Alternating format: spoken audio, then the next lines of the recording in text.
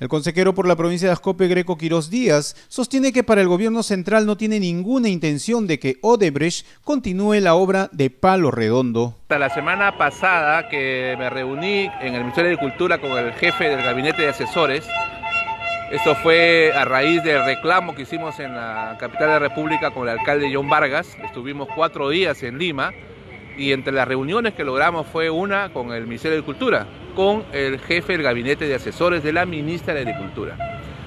Y la información oficial que te puedo dar es que la posición del gobierno hasta el día que nos hemos reunido, que fue el día jueves, manifestó que de ninguna manera el gobierno iba a dar autorización, avalar, respaldar ningún contrato con Odebrecht. Entonces yo te doy una información oficial y esa información oficial que recibí del propio Ministerio de Cultura es que el gobierno central no tiene ninguna eh, intención de que Odebrecht continúe la obra de Palo Redondo. Al contrario, propuso, y es una alternativa que nosotros también hemos planteado, sin embargo no se toma en cuenta, es la que se liquide la obra en este momento, se, se saque a Odebrecht, se despida a Odebrecht de una vez y ese restante del 30% se haga un expediente nuevo y se envíe una licitación. ¿Por qué? No, es una propuesta que maneja también el Ministerio de Agricultura. Porque fíjese, no se olvide usted que el contrato de concesión es para que Odebrecht haga la tercera etapa de Chavimoche. Entonces el gobernador dice que Odebrecht ha aceptado que termina Palo Redondo y se va. O sea, ha aceptado unilateralmente con la región llevar a término el contrato de concesión. Entonces, si Odebrecht ha aceptado irse después de acabar Palo Redondo, la pregunta es muy sencilla. ¿Por qué no acepta irse ahorita? ¿Por qué no se va de una vez? Que se vaya de la región de una vez. Que se vaya ahorita, así como ha aceptado irse después de Palo Redondo, se puede ir ahora mismo. Y ese faltante hacer ya un nuevo expediente y licitarlo. Mire, el análisis que hace la región es en costos. Y ellos dicen, si nosotros le decimos a Odebrecht que se vaya ahorita, nos va a costar 180 millones. Habla de costos. Y la pregunta me hago, ¿por qué nadie habla de los beneficios?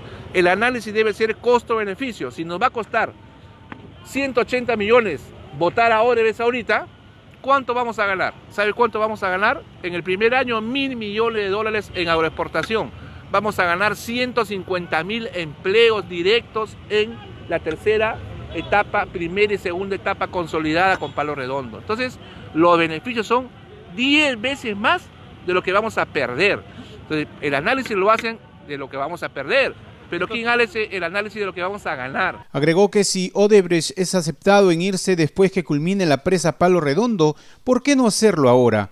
aseveró que si el gobernador Manuel Yempén presenta al Consejo Regional una adenda para que se reinicie Chavimochi con la empresa brasilera, no firmará nada, así haya un acuerdo de bancada. Si el gobernador obligatoriamente tiene que traer acá la propuesta, y si el gobernador trae la propuesta al Consejo Regional para que nosotros aprobemos una adenda con Odebrecht, te lo digo desde ahorita, voy a votar en contra. No voy a votar a favor, así sea acuerdo de bancada, sea lo que sea, no lo voy a aprobar. Mi voto personal será en contra, porque de una manera una empresa corrupta como Oder, que ha destruido la moral del país, merece recibir una obra y encima pagarle con dinero del Estado.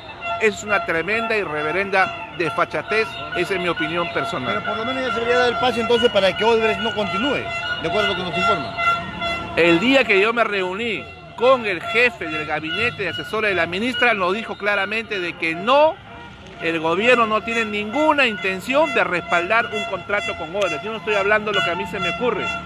El día jueves en la capital de la República, y ustedes pueden ingresar, ahí están las fotografías, me reuní con el señor Sáez, jefe del gabinete de asesores de la ministra, y él nos dijo claramente que no, que el gobierno no tiene intenciones de avalar ningún contrato con Odebrecht. Eso fue el jueves. Pero el día de ayer el gobernador se iba a reunir supuestamente con el presidente para hacerle cambiar de posición, pero hasta el día de hoy no sabemos qué pasó en esa reunión.